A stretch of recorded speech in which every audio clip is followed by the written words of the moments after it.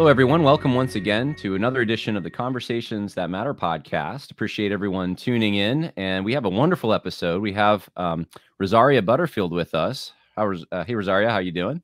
Hey, Jon. Nice to see you.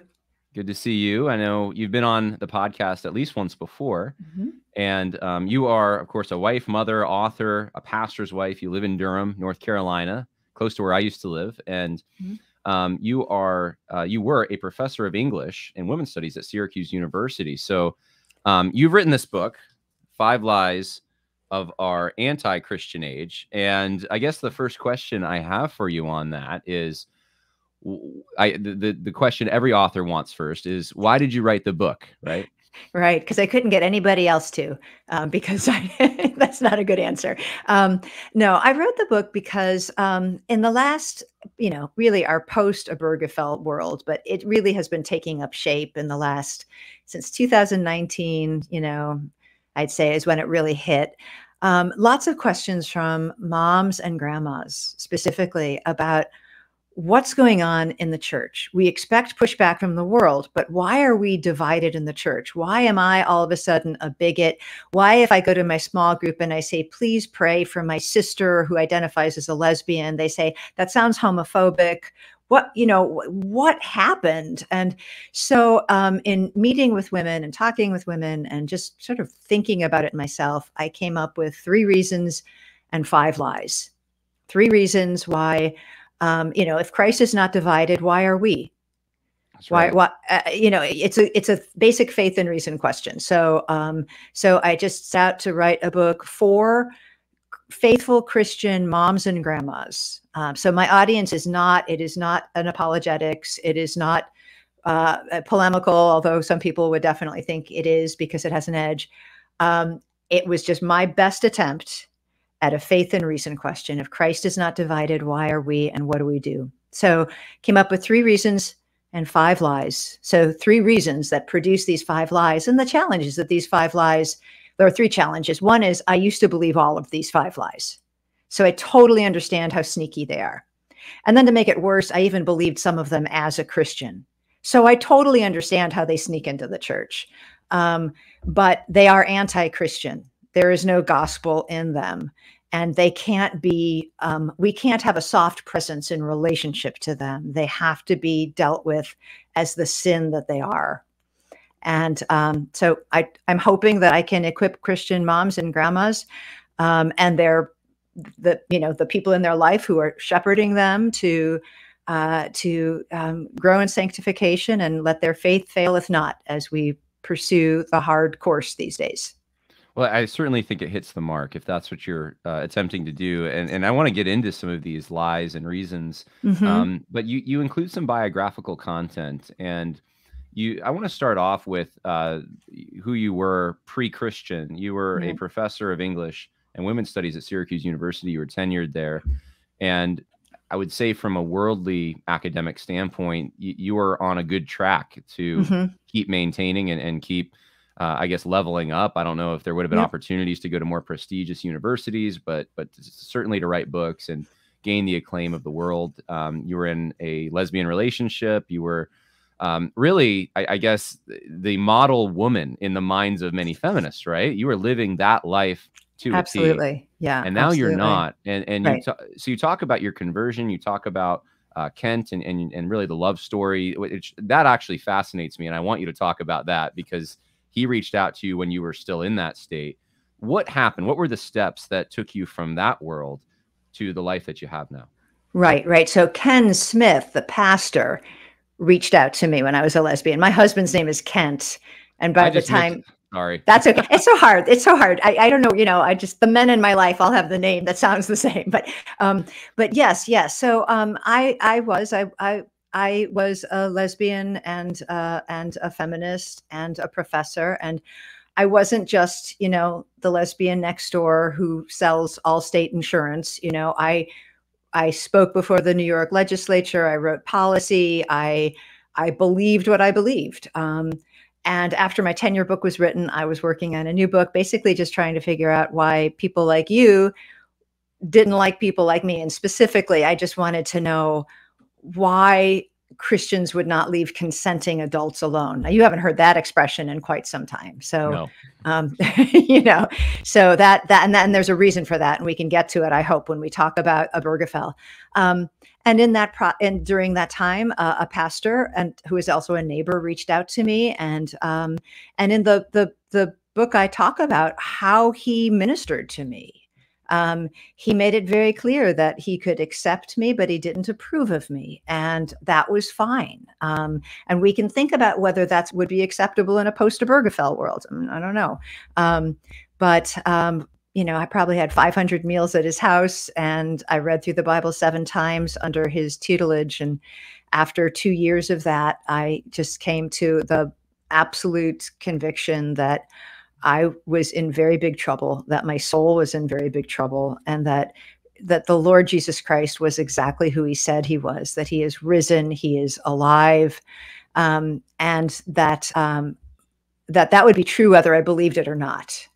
Um, and so con, committed my life to Jesus, and the church welcomed me, and uh, I started being discipled by Floy, Ken's wife, and specifically on the subject of godly womanhood. Um, and the idea very much was that I would change. You know, the idea was that I would, uh, as a born again Christian, live in the liberty of Christ. And so, obviously, when I was first converted, my um, fairly persistent lesbian feelings did not go away right away. Um, but uh, but they they did. I mean, you know, it's it's it's not it was not a kind of a, a, a you know a magic bullet or something but part of the impetus for writing this book is as someone who comes out of just decades of sexual sin I don't want to toy with this stuff anymore, and I don't want to pretend that everything is fine. Um, I still have, uh, you know, wake up in the middle of the night needing to repent of a sin I had forgotten to repent of from my past. Um, it's very serious. Sexual sin is a very serious thing, and so, so my own, you know, if if if it sound if I sound kind of alarmist in the book, it, it's not anger. It's um, an older woman speaking to other women basically saying, don't be me. Hmm. And and therefore don't be uh, don't be so smitten by the lies that the world teaches you. Um, so what I did, you know, I, I, in the in Secret Thoughts of an Unlikely Convert, I say I lost everything but the dog. Um, that's kind of true. I mean, I didn't actually lose my job, um, but um, but I, um, uh, you know, life got really hard when I became a Christian, and my pastor and my elders and my friends at church were just they just took me in and they took care of me. And it was a, a very dear and and painful time. I would not want to relive that um, at all. Yeah. Well well let's let's talk about ken a little bit pastor ken and then kent mm-hmm. your husband. So pastor mm-hmm. ken comes and gives a presentation at in your classes? It, was it in your class or was it in the, well, college? You, you, listened to it though. Well, you, actually, it was in my it was in my it was at my dining room table. Oh, um, oh, it, so okay, yeah, because so, so, he wanted to. He wanted to give this presentation to my class. I directed the women's. I, I, I did. I directed the um, uh, English and Textual Studies program, which was you were taking notes though lividly. You you oh, write about this. Oh and yeah. You hadn't lividly. read the Bible but he had and and and he's telling you things that you haven't been exposed to yet. What in yes. that moment i know you give some of your thoughts in the book um i guess at the at the dining room table there. What what went through your head as far as like was that the moment you became curious you were livid but did you become curious in that moment that he had something that you wanted? Well what i became curious about was I mean, so I was working on this book project on the religious right, and I really wanted to know what these people believed. And so I when I'm writing a book and I'm trying to listen to people, I try to listen from the point of view that's not me. And right. as I was listening from his point of view, I kept thinking, if only I believed this, my life would be like this would be amazing. If this is true, this would be amazing. Uh, wow. But you know, the if was a big capital if. If right. can't be, you know. And and and and that was a very disarming because I wasn't expecting to feel that way. I was expecting for him to give a bunch of dumb arguments and for me to feel quite equipped to topple them all down. And that was not the case. In fact, what he gave was a me- what's called a meta narrative. He gave a story of the whole world that was so different from my story of the and, and so different from my postmodern story and it was compelling. It wasn't, um, I don't know, it wasn't tyrannical or or frightening. It was, uh, I mean, at the end, I, I did have this question like, how in the world would this be good news for me? But I did understand how it would be good news for most people. And so that was very, very disarming. What was it about it? And I know there's more that we need to get to, but I, I was intrigued by that section, I suppose, because we all want to be um, like Pastor Ken in a way. We want, we all have neighbors. In fact, I just had a neighbor today. I was driving down the street and he flagged me down and stopped me. And uh, and I got to know his name and and um, and awesome. he, he, was farther yeah. down the street than myself. But I, you know, my next thought was, how do I get the gospel to this guy? Right? Not not yeah. because I want to, you know, take a, a notch, you know, and put it on my belt or something, but because like I immediately had a care for him. And right. so what was it about right. um Pastor Ken? Like did he was it just the power of the message or was there something about him that you found attractive and yeah yeah yeah compelling? well we had met we had met many times before um, and in fact he had reached out to me after i had written a pretty hateful article in the newspaper and he you know he just wanted he just said i think you're wrong and i wonder if we could talk. And and and i thought well i'd love to talk because you might be my unpaid research assistant for this book project. Right. so i mean you know of course i'd love to talk to you.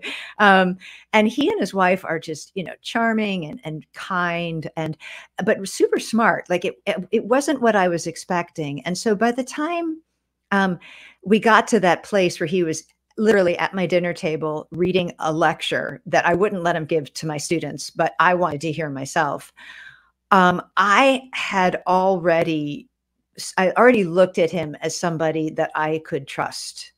Um, he was okay. already somebody I really cared about, and I knew he cared about me. It wasn't, you know, I wasn't a project or anything like that. And he also knew I wasn't a blank slate. So, it, you know, mm. we we had had some history, but he, Ken was and still is. I mean, he's 96 years old and he's oh, wow. alive and well. And I just had a chance to visit with him recently, and and he he's a strong, masculine man, and I had no concept for this. I mean, my whole world was women in charge, and I had I literally had no box for for Ken Smith. Um, um, Eh, but but one of the things that he would say is he would say, "Okay, today we're going to talk about why the Bible is true." Like that's exactly what he would just say. He would come in and sit down, and I would make Floy a cup of, of ginger peach tea, and and I would make him a cup of decaffeinated coffee, and he would say, "Okay, Rosaria, today we're going to talk about why the Bible is true," and like that, you know, yeah, you know okay and and before he would deal even deal with my lesbianism or or the myriad of other sins my writings you know he really insisted that we had to just i had to understand why the bible was our guide to faith in life and why he wasn't sharing his random opinions which he would just say are you know who cares what ken smith's random opinions are I need you to know why the Bible is true, why the Bible is our guide to faith and life, and why the Bible has bearing over all humanity, not just Christians. Yeah. And so, you know, and I think part of, you know, people sometimes don't appreciate or understand maybe maybe appreciate it but but there you know there are a lot of times in my books where i talk about what gay rights activists talk about in the kitchen what ken smith talks about in the dining room and we we can't imagine this but this is before social media.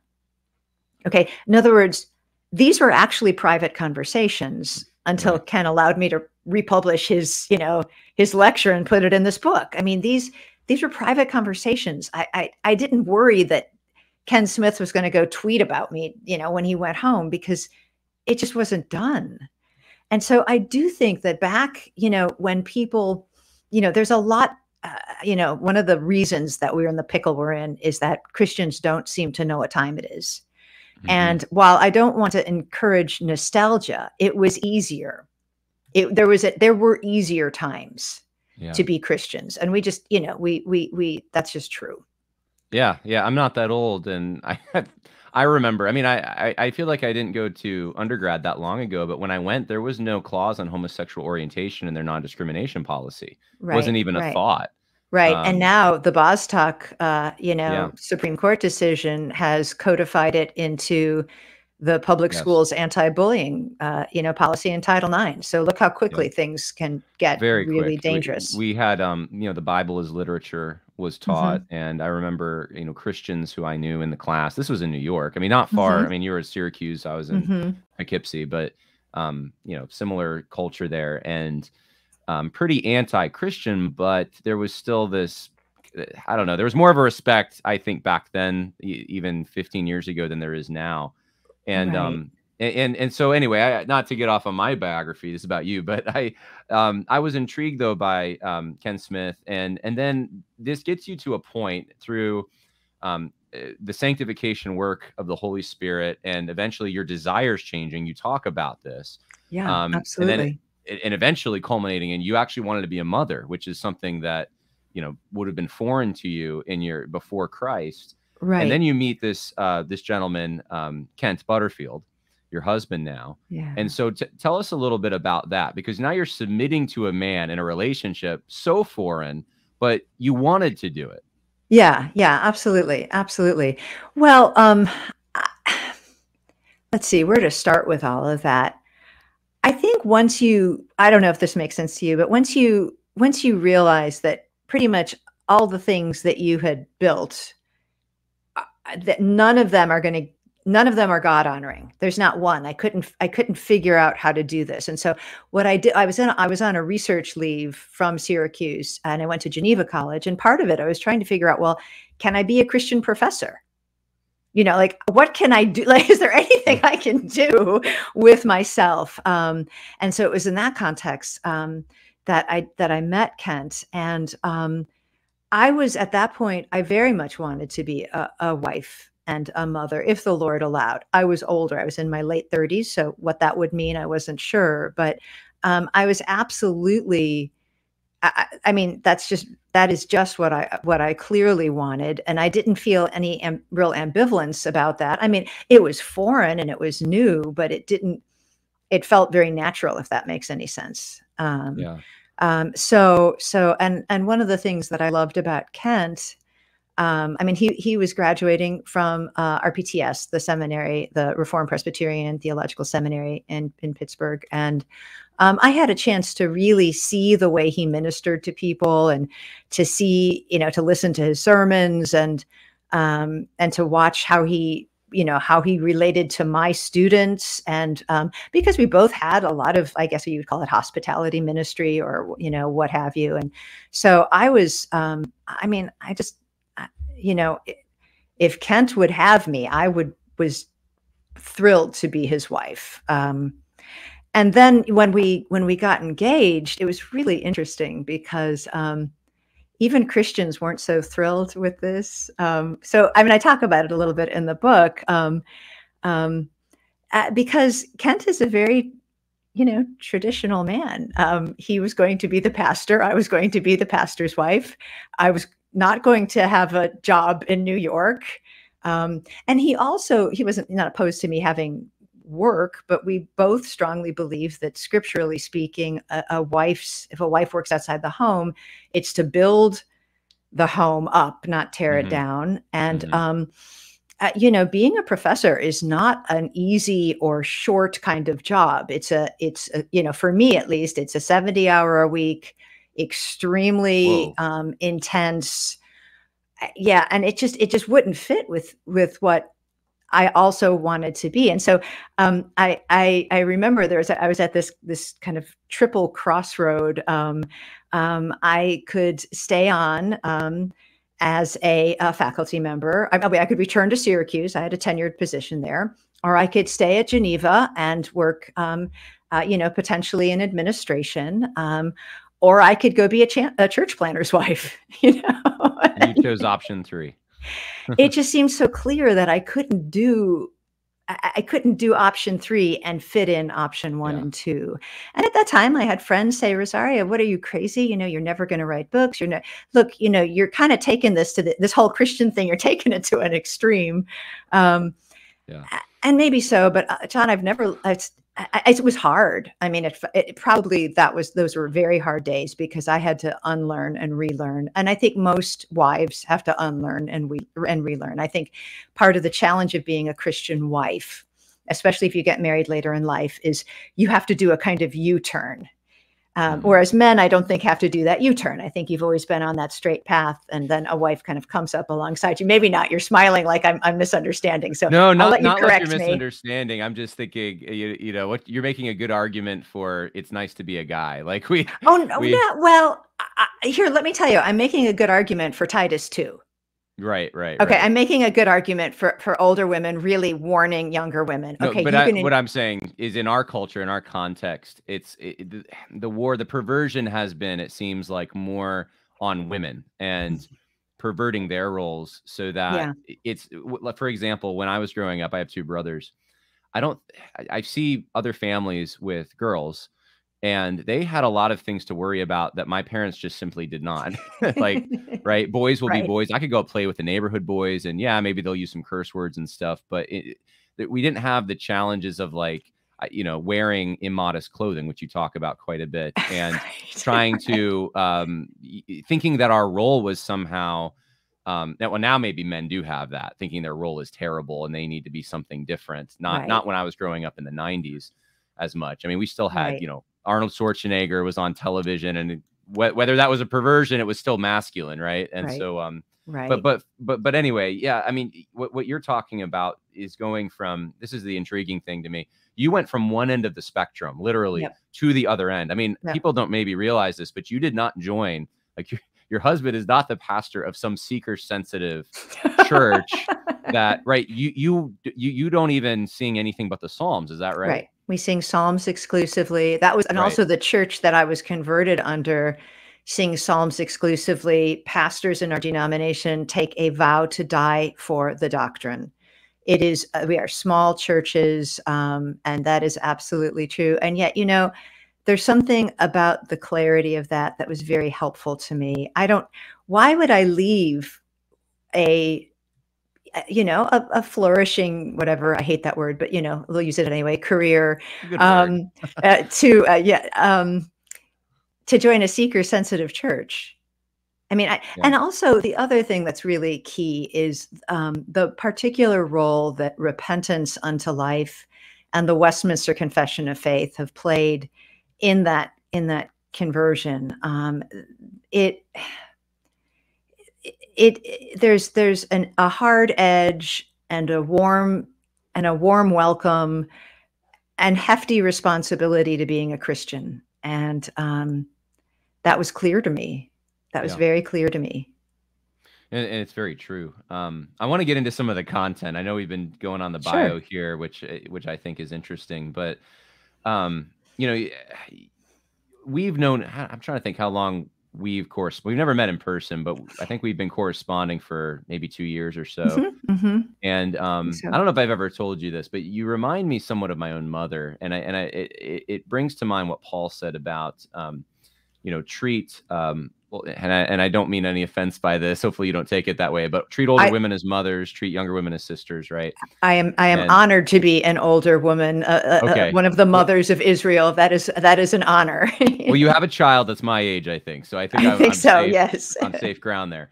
Um, but the the way that you approach these lies, this is hard hitting stuff you're talking about and and this is i think where you remind me a little bit of my mom in that you're you have such a good bedside manner and i don't know even how to do this myself which is fine i'm wired different but you mm-hmm. also you you punch it straight and no one has any question about what you believe and so um, I, I, do want to talk about some of these lies um, mm-hmm. th- there were some specific things though that i thought were were very helpful that I have not read in other similar books trying to engage on on the on um, I mean you you cover a wide variety of topics but specifically same-sex attraction mm-hmm. um, and transgenderism.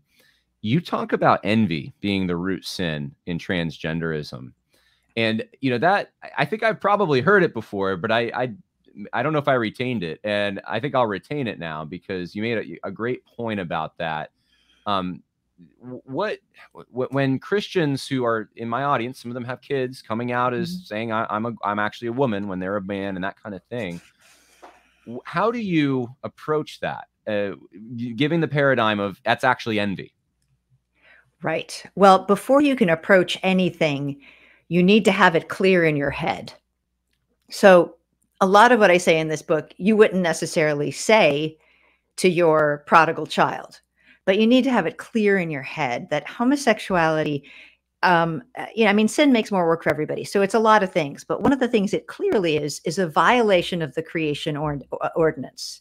Right. Um transgenderism it's many things. There are many ways we could talk about it but one of the things it clearly is is a violation of the creation mandate. It rebels against the created order. It is rebellion. Um, specifically with transgenderism um, the desire you know you're not to desire your neighbor's wife and you're not to desire your neighbor's sexual anatomy. It is covetousness. And the um, and my husband has since I, I i've just you know i wish he would have preached these sermons before i wrote the book because then those chapters would have been stronger but he's gone on to preach three sermons on transgenderism on the sin wow. of transgenderism. And um, we have people in our church who have said things like i wish i had heard that when i was in the seventh grade um, because this, uh, you know, what we know to be true about about gender anxiety um, is gender anxiety in children is a lot like anorexia um, it's a it's a body dysphoria. It's a it's and often it comes around puberty when your body is changing and you don't like it. And who did? I mean, do you know anyone who just joyfully went through puberty? I've not met one person. Nope. nope. So so you you want to be um, you want to be mindful that that is a that is a real feeling but even the APA, which is pretty liberal rag, I wouldn't, you know, I wouldn't go there for First American Psychological Association Diagnostic right, and Statistical right. Manual says 73% of the time children with gender anxiety resolve it naturally if natal puberty is allowed to uh, to go through without um, social transitioning, without cross-sex hormones, and without surgery. So right. this is just nonsense. When you hear, you know, would you rather have a dead daughter or a living son? You know, this is where Christian moms and dads and grandmas and grandpas need to be not, willing to not be blackmailed. Um, yeah. and i think that can be a really hard thing but no we we we want our children to be dead to sin. We want them to cut off something sin not their healthy body parts but that we do want them to cut off something. There is something in that. Um, so for parents so, raising kids you know in early stages before they hit puberty it seems to me like if you are training them not to covet from those age. Don't don't covet your friend's toys. You're already preparing them for this fight. And if you are teaching them that the seeds of the gospel are in the garden, if you're teaching them that the creation ordinance tells them who they are, and when they hear things like, you know, Joe Biden say transgendered people are made in the image of God here on National Transgender Visibility Day. Right. Uh, by by 10, they you know, I would I would think, I mean, maybe not 10, I shouldn't say the age, but but your children should be able to come home and say, Mom, Dad, that doesn't make sense. And mom and dad should be able to sit down and say, No, that's right. Image bearing, Genesis 127 Mm-hmm. It, it, happens when we grow in the knowledge and the righteousness and holiness of God. Transgenderism and homosexuality come from the world, the flesh, and the devil. There is no such thing as being made in the image of God as a trans person or a gay person. Now, you know, son, daughter, Christians don't throw people away. So we're right. not going to mock them. We're not going to, we're certainly not going to tease them. We are, we want to pray for them. Um, but we want to remember one very, very important thing. You can't mock God. And so, even for the people that make very dangerous decisions, um, even for the, and I've met these people because Kent and I testify before the legislature and I speak before the Durham School Board, which is like going doing rounds at the psych ward on the night of a full moon. And, did you uh, did you want to talk about that specifically? I know well, you mentioned it. We can, we can, but I'm just I'm just, what I'm saying is we as Christians we try to share this not just with other Christians, but we try yes. to go where that where it's the hot where the battle's the hottest, and say. Um, uh, being made in the image of God comes with responsibilities. But if you are that person who has, you have had you have you have mutilated your body. Right. Or if you are that father i've met these people that father who has castrated your 14 year old son all because you think joe biden was right about the 14th amendment Man. there is still hope in the gospel. Because in the gospel uh, you will have you you're resurrected uh, after you have committed your life to jesus and you believe and you put your hope and trust in him that the the, the promise is that your resurrected body does not have the scars of your attempt to mock god because god Mhm. can't be mocked and really Mhm. some of the detransitioners that i know probably understand um, the, the the the beauty of the resurrection more than you know anyone right i mean just because they're just that is what they're hoping for they're longing for a body that doesn't have the scars of what they did to it Um, now you have five lies, and I started at four because I really wanted to make sure we got that one. The That's transgenderism fine, is yeah. normal.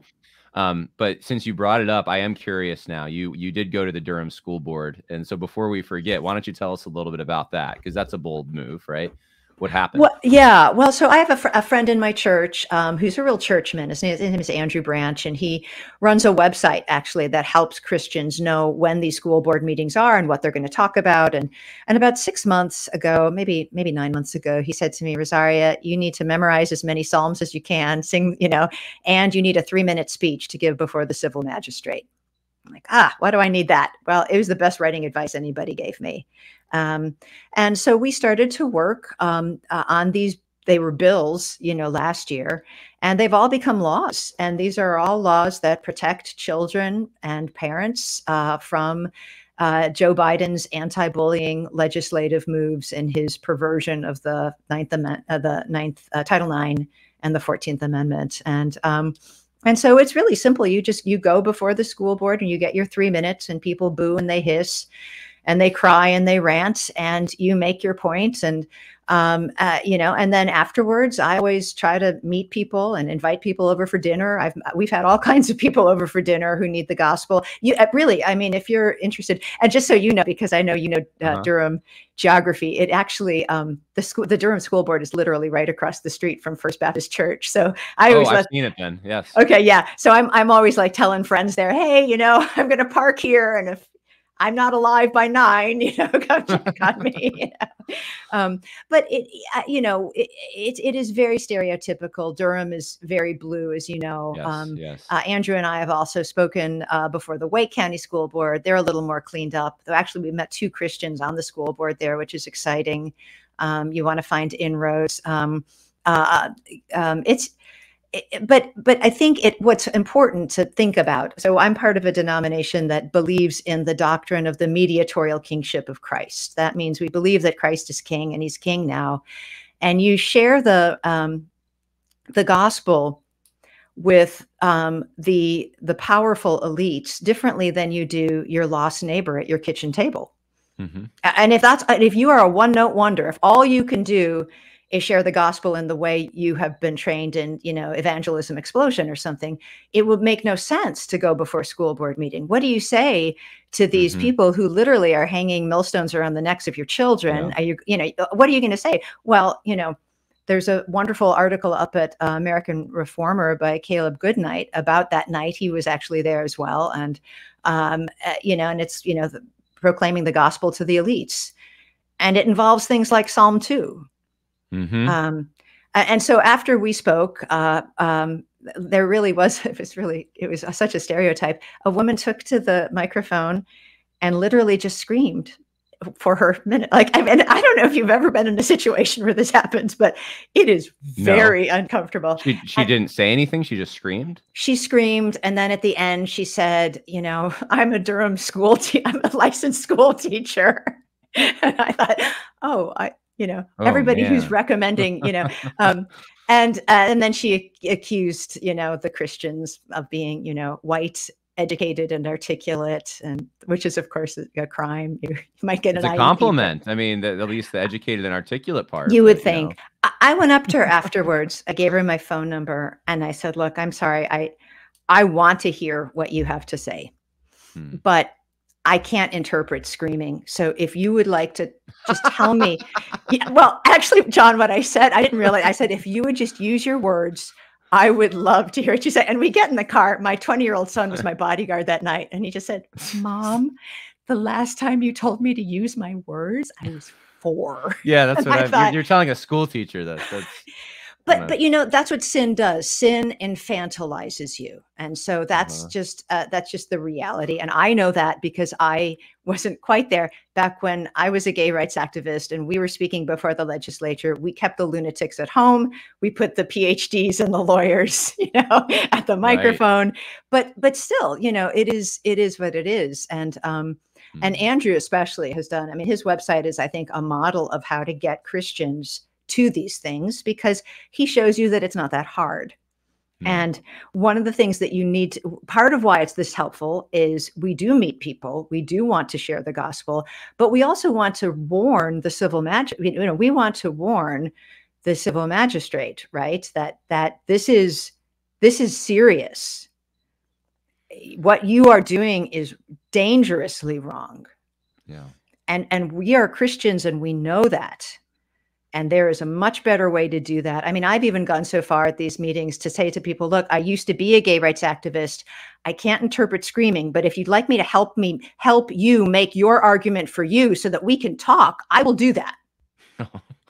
yeah, they probably um, don't take you up on that, I would imagine. Well, you know, it, it, it you it's amazing there are people eh, but I'm just uh, so so I I think that it we have not come we are we are at a place where Christianity is not comfortable but the the the five lies uh, of our anti-Christian age are in the church. Um, they don't stay mm-hmm. at the school board. And if you say things like, "Oh, you know, public schools are great, they're fine," but but they're just not.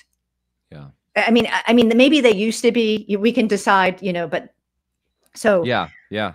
No, I, so I, I totally agree. I I have a podcast I haven't released yet, but it's coming out tomorrow. And I say basically, you know, putting your kids on a yellow bus and sending them to people you don't know to educate them across town is kind of uh, insane. But yeah, if yeah. some people are in that position and they can't do anything else, but um, I just so people know, uh, we started with live four. Uh, transgenderism yep. is normal, but just you know, the five lives are homosexuality is normal.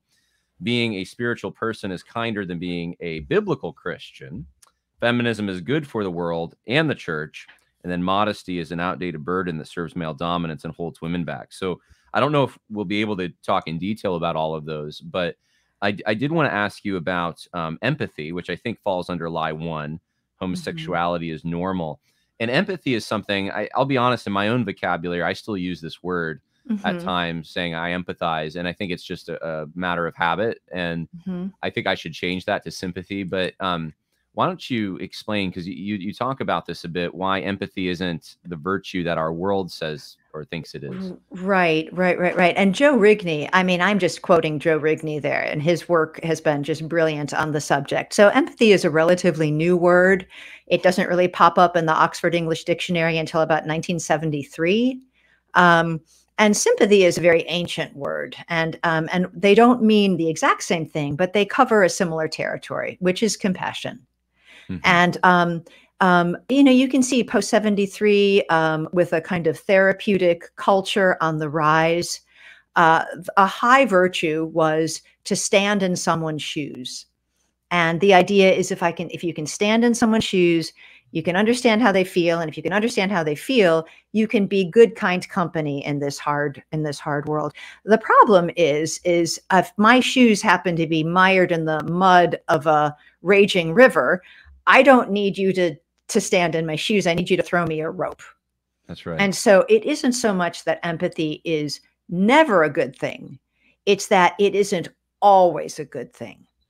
And so one of the things I, I heard a lot at the school board meeting was just, you know, safe space, hold my space, empathy, everything, empathy, empathy. And hmm. it, it's ridiculous. I mean, at some point, how do you just say, but you're wrong and here's the better way? Right you know i mean there's almost no there empathy leaves no room for any kind of genuinely objective you know observation of danger and problem and you know and, and also empathy doesn't want you to fix the problem. It just wants you to feel the problem.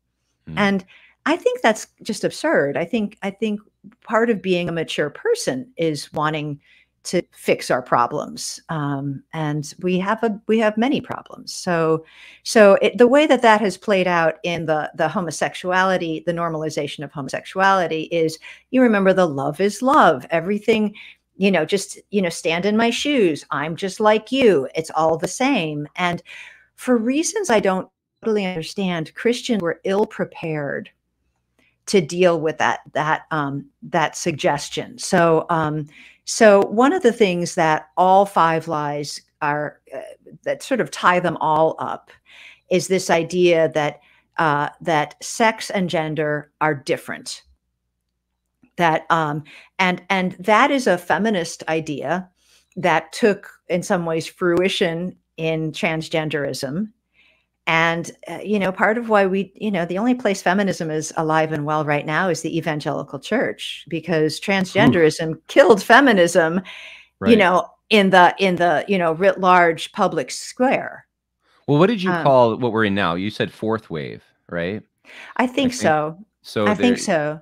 So and third I, wave would have been the 70s, I suppose. Maybe the 90s, maybe the, the 90s. identity politics before transgenderism. Um, okay. But so, it, so, I mean, yeah, go ahead. Sorry. I, I, think it would be good just to ponder this idea of sex and gender. I mean, just so that I don't move too quickly for listeners or readers. That sure. that um, um, the creation ordinance makes it very, very clear that you are born in the image of God as a man or as a woman, and you will be a man or a woman uh, in eternity. You are not, that is, that is ontological and your mm-hmm. identity is rooted. You have a godly identity and a purpose and God doesn't create a pattern without a purpose. He doesn't create a bridge to nowhere. So if you were if you were created a man, you were created a man for godly purposes, for the purposes of protecting and leading and providing. And if you were if you were uh, born a woman, then you also have godly purposes. But feminism wanted to say no, no, no. We're going to you know we've got to deal with this problem of men and babies progeny and patriarchy right. so we've got to, we've got to put that line right in the middle and um and uh, you know, I'm really this is a this is not my book, but Chris Gordon. I think I've you and I've talked about this book, the New Reformation Catechism on oh, Human Sexuality. It. Yeah, on my shelf, I have it. Yeah. Yeah, yeah. Well, he. I mean, if I can just answer because he does this really well. He says. Um, the question is, aren't we able to make a distinction between biological sex and gender in search of our, and then if you're a feminist, it would be your calling, or if you're gender fluid, it would be your identity. And this is what Pastor Gordon says. No, he says God established a natural order in the creation of male and female that is good for us as image bearers of God. To introduce gender as a new category of personhood, separate from the biological category of sex, in pursuit of a different sexual identity, is unnatural to the creation order and harmful for the purposes for which God made us. And in keeping with catechisms, there's about 10 proof texts for that. So th- this is this is an important thing to think about. Um, the earlier, uh, you know, 30 years ago, um, you heard about leaving consent. You know, let's just just leave consenting adults alone, and we need allies who would empathize with us as gay and lesbian people right. to leave consenting adults alone. You haven't heard that expression post Obergefell. And that is because the allies of the pre Obergefell gay rights movement have become the groomers of the post Obergefell movement. So, so this is fascinating to me um, because you said this is alive, feminism's alive and well in the church, and that's the only place. Because I, am writing right now what will eventually, hopefully, become a book, and that's one of the things I talk about is this um, kind of a classical liberalism uh, mindset of expanding uh, freedom for the individual, whatever, meaning whatever they want to do and personal autonomy. And of course, the main thing that I could I was thinking about that has uh, kind of catapulted that is it, eh, when it comes to sexuality, thinking that as long as consenting adults are involved, it is permissible. But you're saying, and I think you're right, that there is a shift going on. Um, that so so consent. So, so do you think we're moving into maybe in transition right now to consent is no longer what um, will determine whether something's morally right or wrong. It's going to be something else. Yeah, absolutely. And you really see that in this invention of the trans child. And um, Christopher Rufo, uh-huh. who I think is just brilliant, talks yeah. about um, the trans child is a totem of the left. You know, a totem like a like a like a the head of a boar you put on a stick and everybody marches behind it. Um, it it's not real, uh, but it stands for something. And so to me, it is just really fascinating that we no longer talk about consenting adults. We talk about the rights of trans children who don't exist. Okay, that is not a category that exists. You may have gender anxious children, and even the Diagnostic and Statistical Manual accounts for that. Um, you're going to have every sin and pathology under the sun post Genesis 3. But um, this is a political tool. And one of the ways that it really, the loop gets closed with feminism is, you know, I think women, look, you need to pick. Do you want godly patriarchy? Do you want biblical patriarchy? Do you want godly men in charge, protecting, providing? Mm-hmm. Or do you want transgender patriarchy? because if you'll notice there there are no women's sports women's sport uh, you know i mean at least not, not as long as oh, title sure. ix means yeah. what it means so i think we are looking starkly at the world and so that's part of why i wanted to write you know i know people are like oh rosaria your tone i hope you hear the love in my tone oh yeah. this is the love that says don't cross the street there's a car coming yeah. Uh, this is really serious. Christians need to to wake up to that. And even if what happens is we wake up and we realize that Christendom is a lot smaller than we thought because all the hirelings in parachurch ministries and all the hirelings in megachurches, uh, they can't take the heat. Okay. I mean, I think reality, it's still very helpful to know what, what we're dealing with. I think that's a good um, transition to something I wanted to ask you about your work. I would say maybe six years ago and before that, when you were very platformed at the Gospel Coalition um, and even other outlets. I know you mentioned before we turned on the camera and recorded that Christianity Today had even carried some of your stuff. Mm-hmm. And now um, you, are not getting you, you did not get a good review in Christianity Today for this new book, and I'm, assu- I'm assuming that some of the former places that used to welcome you and want to platform you are now turning on you or trying to ignore you. Um, and yeah, and I, I just wonder what that means and what how you interpret that and eh, what does that mean for Christianity? Do you do you think that that that is an indication of maybe it's a smaller group than we thought? Well, I, I might kind of. Is it okay if I frame it a little differently? Because Please I'm, do. Yeah. You know, I mean, I'm I'm a pastor's wife in a small church. I am not. I mean, I've I've ri- I, I've written books that have sold a lot of copies. I've written articles that have gone a lot of places. And so it probably looks like I'm a lot busier doing those things that I'm doing, but I mostly spend my time homeschooling kids, taking care of a grandson and chopping vegetables. Okay. So that is the, that is the normal Rosaria, you know, kind of life. Um, and um, I, like many, many people back in what Aaron Renn would have called neutral world, mm-hmm. believed mm-hmm. there was a third way. I believed it. Hmm. Um, and whether that's whether it was there or whether I just believed it, I don't know. But um, um, my, my husband's a pastor in the RPCNA. We are not.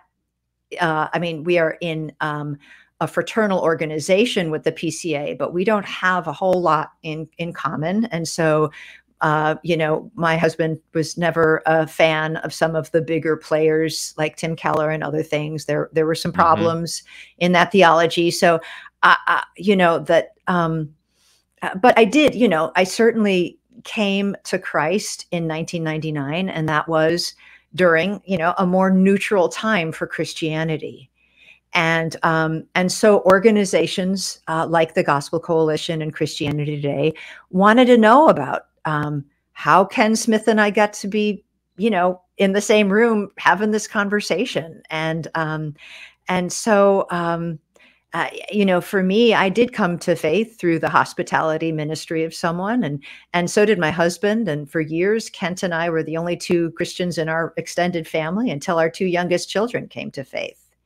Um, so the wow. the particular practice of hospitality and other things. I, I, so in other words, what I'm saying is, I might have been working in a kind of parallel universe that was that was you know complimentary, but um, I never held a post at the Gospel Coalition. I never, right. I mean, I, I've written, I, I think I've written more books than I have Gospel Coalition articles, and I've spoken at two of their conferences compared to the, I don't know, hundreds of places I've spoken at. So, so okay. I think it might just, uh, you know, but but I will tell you that it was my, it was it was my session that said you're not writing for Gospel Coalition, you're not doing anything for these broad evangelical groups, long before they had anything to say, you know, positive or negative about me.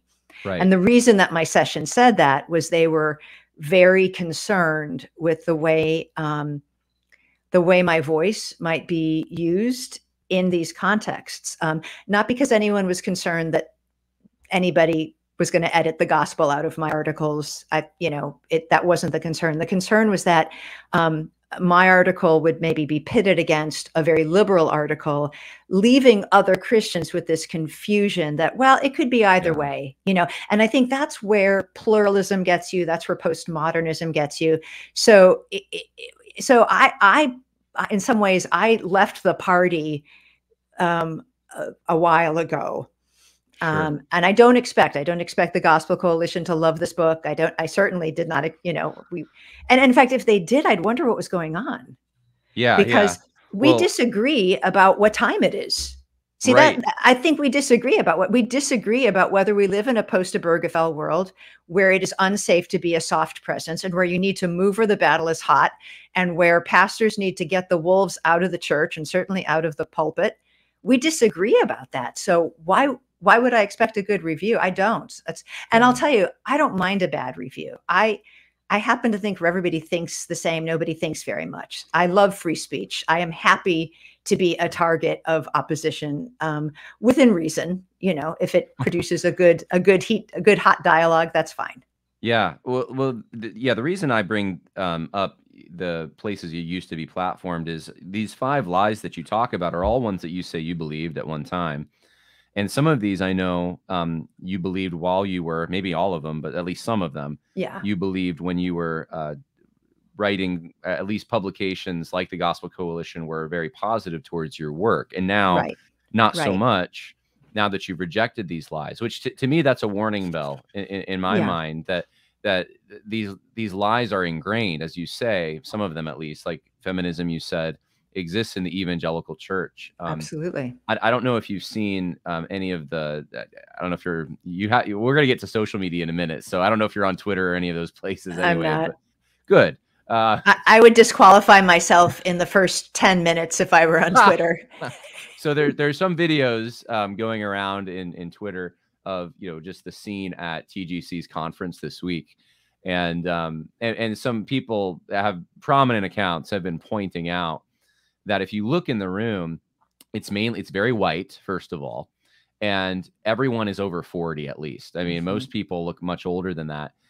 And it's which is not a knock, right? And it's like I, you want wisdom, you want older right. people in your movement, right. but it, but it is it does raise the question where are the younger people because young restless and reformed used to actually mean young and it doesn't mean that anymore right and right. and, yeah. and I think what you just said about neutral world makes sense of all this. Some of these organizations, TGC being one, I this is my opinion. I think they're stuck in neutral world. Like mm-hmm. like they can't like like in a sense there is a nostalgia that they are holding on to that that there's they think it's achievable to have a thought leader who's a Christian.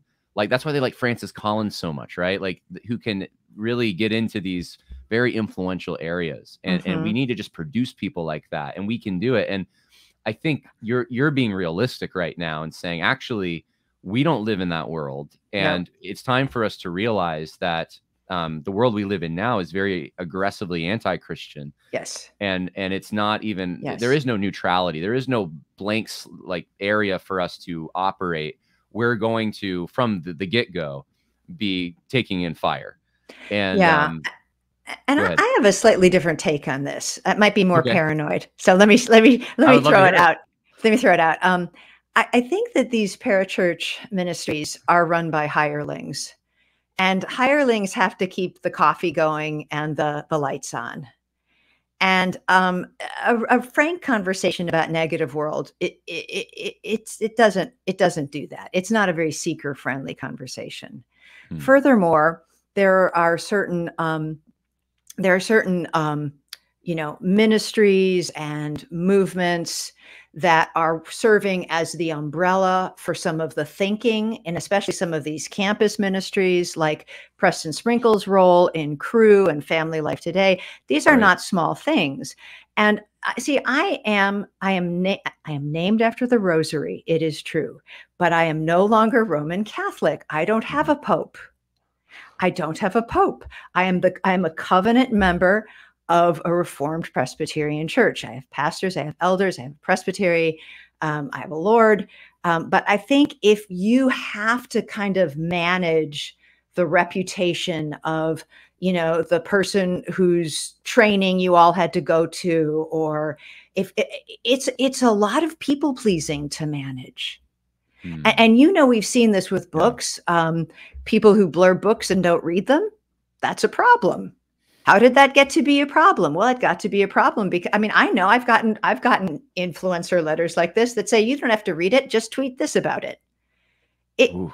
i mean I, I, can show you the letters it's crazy that, yeah it's, well, it's crazy so it's not that's not moral i mean it's a violation of the ninth commandment that's right yeah if i say i've read this book and you should read it and i haven't read this book and i don't know what's in it it's a violation of the ninth commandment so i would say the the party's over and um, you know, the more sober you are, the more you realize the party is over. Um, That's right. Uh, but uh, uh, and and I and I want to say this in in a more optimistic way too, because by optimistic I don't mean like the optimist club, but I mean the Lord has a purpose for why we are where we are right now. Achan is in the camp, and we need to deal with that responsibly that means that so in my, in my own case i needed to repent publicly of my stance on reparative therapy my mm-hmm. uh, my advocacy and use of preferred uh, transgender pronouns and you know what there's probably a host of, of other things that i haven't that i'm too dumb to notice that i'll have to keep repenting of if i keep talking which is why you know talking out loud is dangerous but mm-hmm. um uh, so this is part of how the christian lives but god has a purpose and his purpose involves um, uh, refining the church in preparation for the new Jerusalem. It will be the church that is standing. Mm-hmm. And, and we pray that our churches will be the ones that are standing when the Lord Jesus Christ returns. And so it, it, I think there's a kind of fluff and a kind of carelessness. Um, I just don't think we have we have time for it anymore. You know, Michael, and I think it's distracting.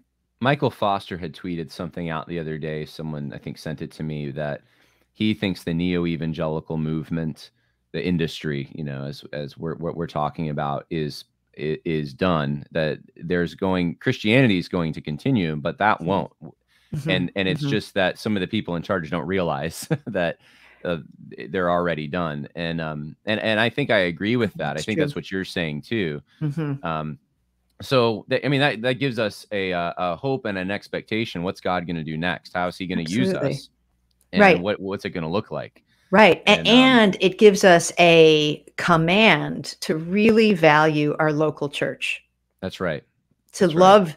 your elders to pray for them to uh, to love your church, to be um, to be influenced by your church. Um, as an older woman, I do spend a good bit of time telling younger women things like, "I think you need to ditch the therapist."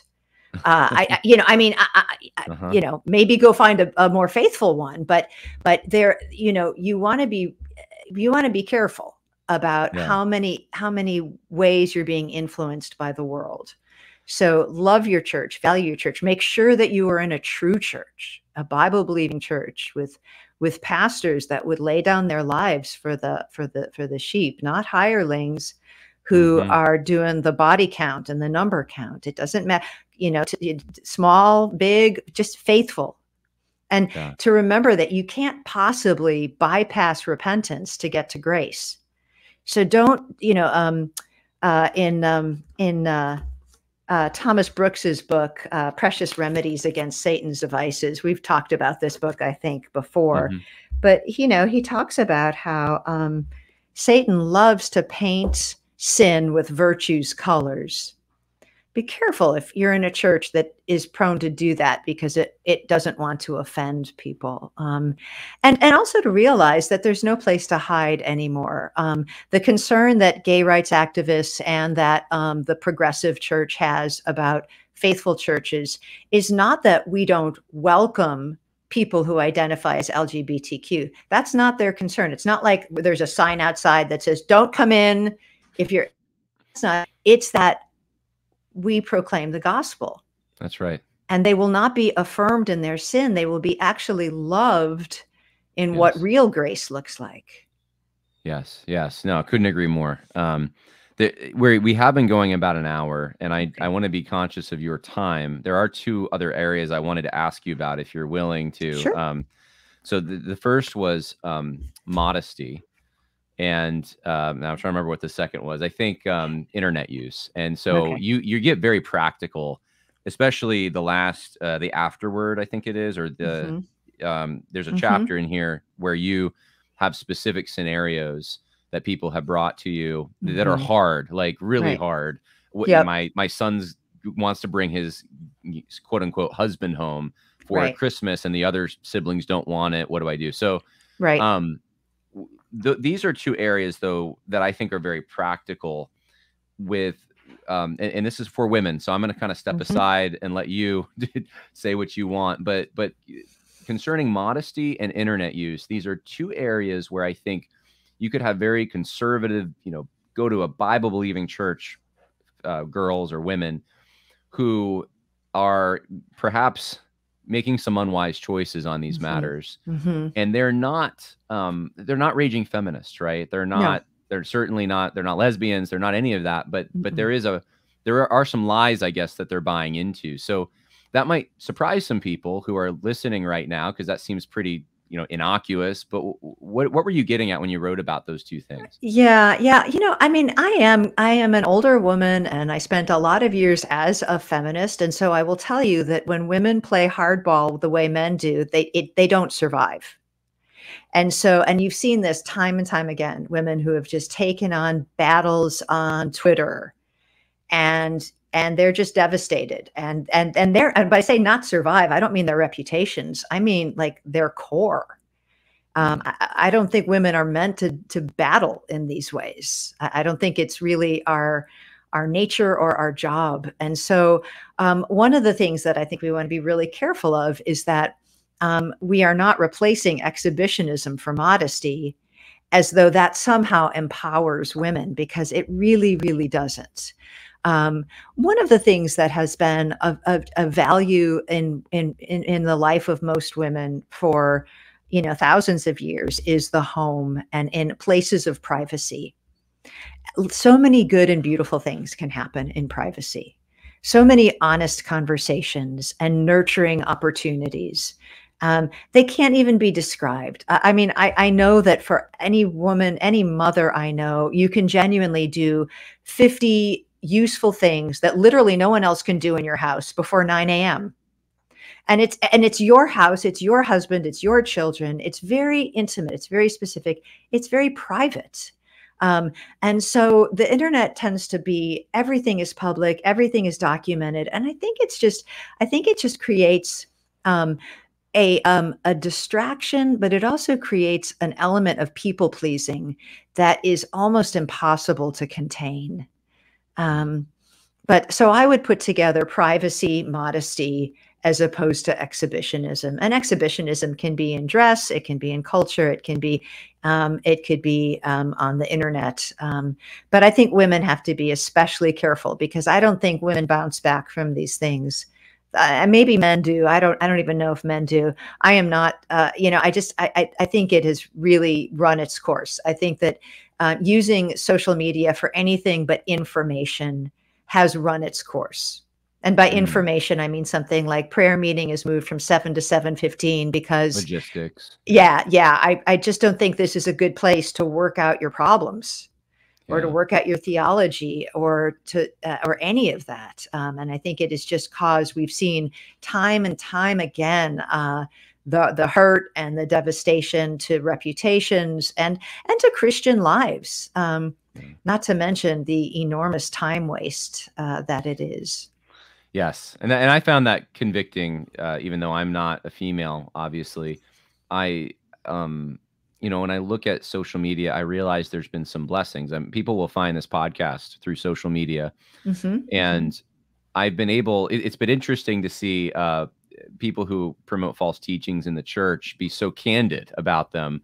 So y- you have you do have a chapter and verse. You can show someone, well, this is where they said it if they doubt you, which is kind mm-hmm. of nice to have that proof. But I think overall, you're right. Um, it, it's not conducive to productive discussion as much as being with someone and looking them in the eye and um, sensing their humanity and just mm-hmm. that, that, mm-hmm. they're made in the image of God. You care about them. Mm-hmm. Um, you don't get that care through a tweet. Mm-hmm. It's just mm-hmm. not. You can't detect any of that. Mm-hmm. So, um, so anyway, I think I think this is a really good word, and and especially for women who are not designed for combat. It's it's uh, Twitter's combat. I mean, that's just kind of what it is. And so, mm. um, anyway, I appreciated you saying that. And I, I don't know if I've ever read anyone else make these points. I'm sure someone has, but I think they do need to be said. So, um, yeah. And I think, I mean, it might be, eh, you know, I mean, it might be a little old school, but I just think it's a it's a terrible time waster. And I've, you can't, you know, what you can do in privacy is you can change your mind. That's right and and I and I often wonder if I could have. Yeah, I mean, there's so much. There was a very tumultuous time for me in Ken Smith's, you know, living room or my dining room, and there was a lot of, you know, just sort of heart wrenching conversations for me. Yeah. I, I, was working out different scenarios for how I might live my life or what it means to have an eternal soul, and um, it it it it would have just been devastating to not be able to change my mind. I wouldn't mm-hmm. be here if I couldn't change my mind. If I felt, you know, and that's why I just hate that expression the whole world is watching. Well, who cares? God is watching. That's right. I mean, really. Right. God is yeah. watching. Well, well, I, I appreciate you you giving your time and talking to us. There's a lot of wisdom in what you've said, and if people want to pick up uh, the book, where do you recommend they go? Well, you know, it's it's it's actually for sale on Amazon until Amazon reads the part where I say transgenderism is satanic, and then and then it might not be then, available on Amazon. It might not be but, on Amazon, right? Yeah. But it is available at Crossway. Crossway. Okay, so you they go to crossway.com or crossway.org. I'm sorry. Yeah. Or you can go to Amazon.com and uh, get a copy. You also have um, a study guide that goes yeah. along with it for small groups, I guess, or women's Bible studies or, mm-hmm. or something like that. Um, and so, yeah, yeah, I appreciate it. Uh, do you have a website, by the way? I should have asked I this, so people can go. What's the, what's your website? RosariaButterfield.com. Yeah, and I've been there, so I know this. So okay. so yeah, so everyone go to RosariaButterfield.com. Check out uh, Rosaria's writings there, and then and pick up seriously, pick up a copy of this book, even if um, you want to pick it up for your church library you know, pick up two, put one in your church library. So we want to support this. So, uh, yeah, anyway, God bless you, Rosaria. Thank you. Lord bless you. Thank you, Jon.